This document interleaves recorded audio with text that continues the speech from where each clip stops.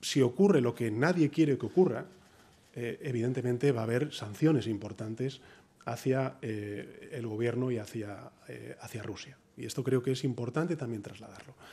Por tanto, desde ese punto de vista, creo que, al contrario, creo que todos estamos en la misma línea de desescalada, de diálogo, de diplomacia, de unidad en la disuasión y, sobre todo y fundamental, en un, en un mundo en el que queremos la paz.